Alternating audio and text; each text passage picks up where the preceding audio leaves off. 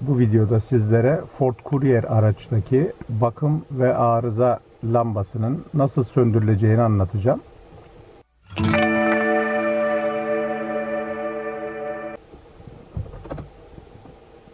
Önce ışığımızı bir açıyoruz. Kontak yarım açık. Aracımızı çalıştırdık. Şu an alt köşede zaten ışığı görüyorsunuz. Özellikle yağ lambası yandığı zaman aracın yağlama sorunu olduğu anlaşılır ve bu yüzden araç hareket ettirilmez. Ancak bu ışık biraz daha farklı çünkü yanında anahtar işareti var. Ben aracı aldıktan bir yıl sonra bu ışık yanınca önce bir telaşlandım tabii. Servisi aradım. Servis bakım zamanının geldiğini, bir herhangi bir sorun olmayacağını ve kullanabileceğimi söyledi bu gördüğümüz ışık her aralık ortasında yanmaya başladı ve e, tabi bakım zamanı geldiğini gösteren bir ışık. Bunun için herhangi bir telaş yapmaya da gerek yok. Araçta herhangi bir sorun yok. Şimdi bu ışığın nasıl söndüğünü göstereceğim size. Kontağımız yarım açık. Freni ve gaza birlikte 15 saniye kadar bu şekilde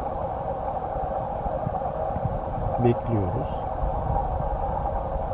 Sonra kontağı kapattık. Ayağımızı hiç çekmiyoruz. Devam ediyoruz. Yeniden açıyoruz. Bir 15 saniye daha bu şekilde bekliyoruz. Şurada görmüş olduğunuz eğer ışıklar motor çalıştıktan sonra yanmaya devam ediyorsa hemen motoru geri kapatın. Bu çok ciddi bir sıkıntı anlamına gelir. Bu kırmızı yağ lambasının yanıyor olması araçta yağlamanın sağlıklı olmadığını gösterir. Bu da motorun yanmasına neden olabilir. Diğer işaret ise motor işareti kırmızı yanıyorsa e, çalıştırmayın anlamındadır. Yani o orada mutlaka bir ya servise gideceksiniz ya da bir e, usta getireceksiniz. Bu şekilde bir önlem almanız gerekir. 15 saniyeyi doldurduk. Tekrar kapattık. Şimdi aracımızı çalıştırıyoruz.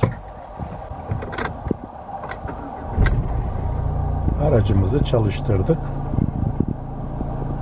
Evet, işaret ortadan kayboldu.